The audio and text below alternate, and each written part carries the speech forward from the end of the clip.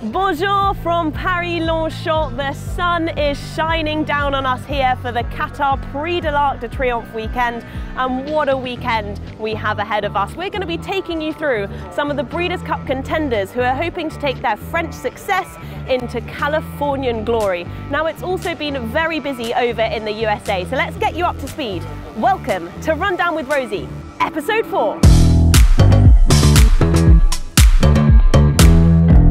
Rosie Tapner and I'm here in Paris because Longchamp hosts five win and you're in races. Irish mare Tarnawa, British sprinter Glass Slippers and the mighty Enable have all used this as a springboard to Breeders' Cup success. Now we've had many memorable moments this weekend, so let's catch you up on all the action.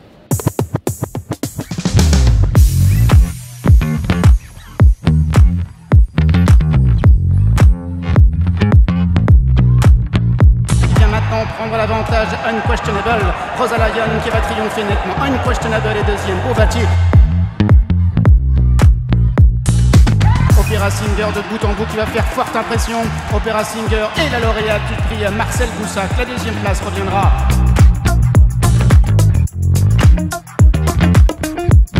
Qui vient à l'intérieur, qui est quatrième. Blue qui repart. Et Blue qui va remporter le prix de l'Opéra après la poule d'essai.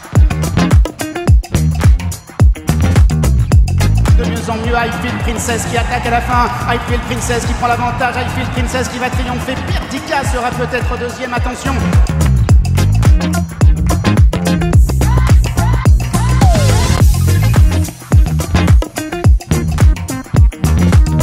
Impact de plus en plus fort qui fait quelque chose d'assez extraordinaire ici, qui remporte sa sixième victoire consécutive et l'arc de triomphe, le premier doublé?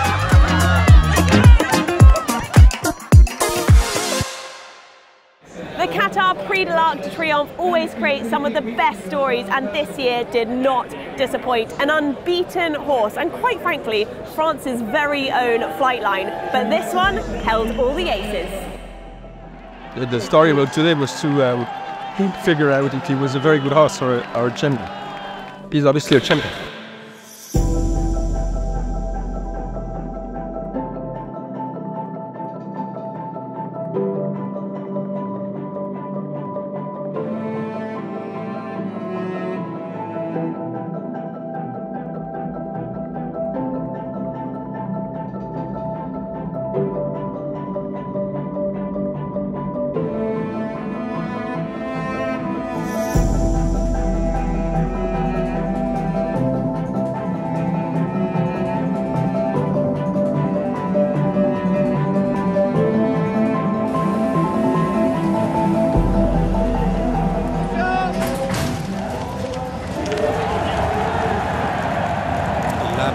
Course du monde, euh, l'Arc de Triomphe, le Qatar Prix de l'Arc de Triomphe, 2400 mètres à parcourir. C'est S-Impact. S-Impact de plus en plus fort, qui fait quelque chose d'assez extraordinaire ici, qui remporte sa sixième victoire consécutive et l'Arc de Triomphe.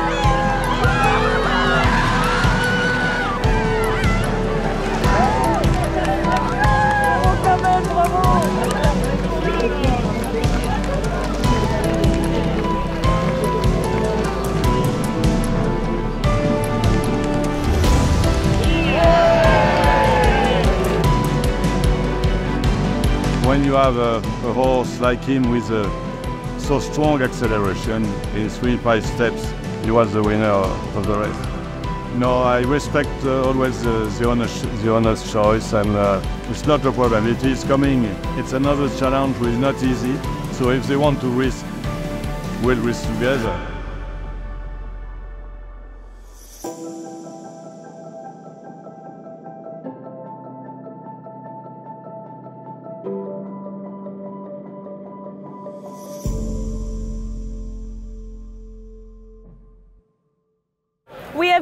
Witnessed an incredible performance from Highfield Princess. What a dream horse she has been. And she just never disappoints. And she has just stamped her ticket to the Breeders' Cup Turf Sprint.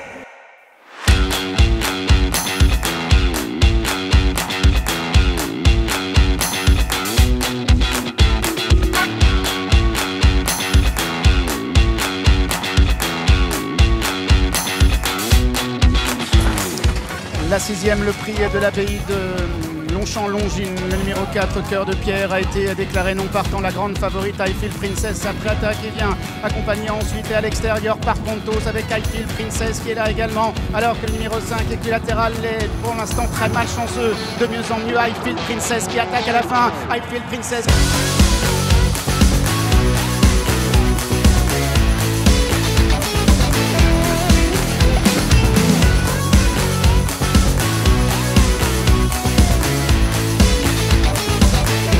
All my family and my grandchildren, everybody was here, um, and we all agreed that about quarter to six tonight we'd start discussing her future, family discussion, and I loved, loved, great to be able to have it. The Santa Anita track is um, quite challenging. Everybody tells me. My instinct is that she's as good as ever, and I would be inclined to think of going on running her.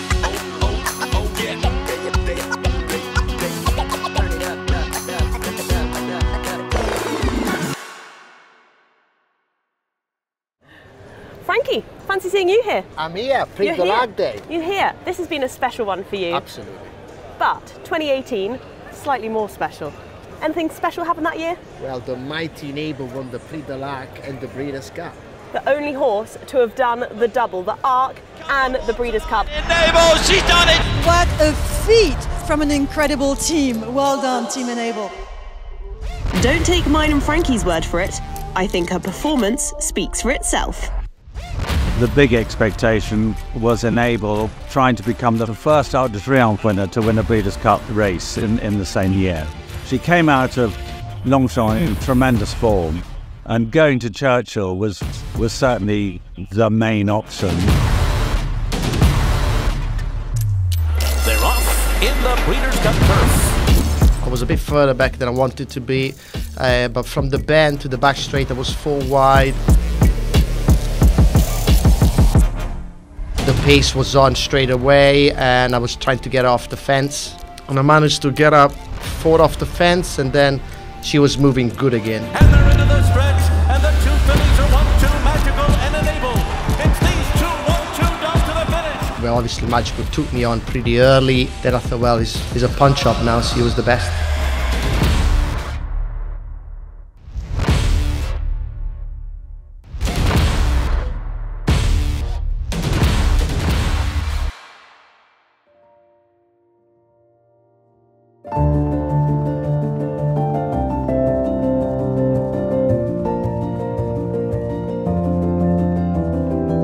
A magnificent filly with great mental strength, and uh, sh- she showed the courage today. It's simply a miracle that she's here, little in, to win the Arc, and then to come here and do it. It's very much down to the, the filly and the man who bred her. Prince Khalid was a huge supporter of the Breeders' Cup, and he loved the Breeders' Cup from, from the word go, and so he was always terribly keen that his horses should compete if they were good enough to, to go. He took enormous pleasure over his homebreds, enormous pleasure.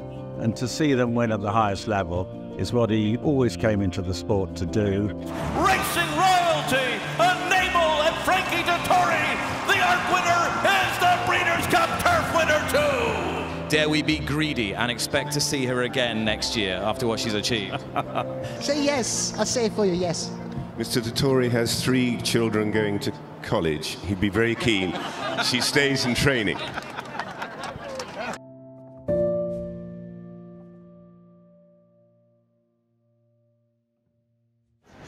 From one incredible racetrack to another, none is more beautiful in autumn than last year's Breeders' Cup host Keeneland.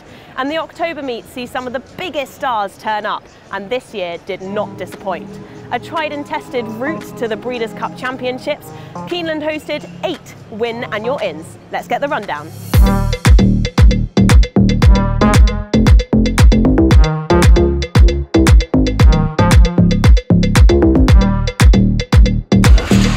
Buchu has the lead. Buchu, what a tremendous stretch rally. Buchu, Martin Garcia to win the Jessamine. Hoist the gold. Nakatomi, Bango in between horses. Hoist the gold. Candied, VB Stream, 1 2, deep stretch. Candied, Luis Saez wins the Darley Alcibiades. And Yuugiri, these two down to the line. Head bobbing photo for the win. Locked the wine steward. It is locked to win the Claiborne Breeders' Futurity for Jose Ortiz. Master of the Seas. Up to the mark is there. Master of the Seas. Head bobbing photo. Florent Geroux aboard. Idiomatic to win the Grade 1 Juddmonte Spinster. Noted Can Group at the wire. Head bobbing photo for the win.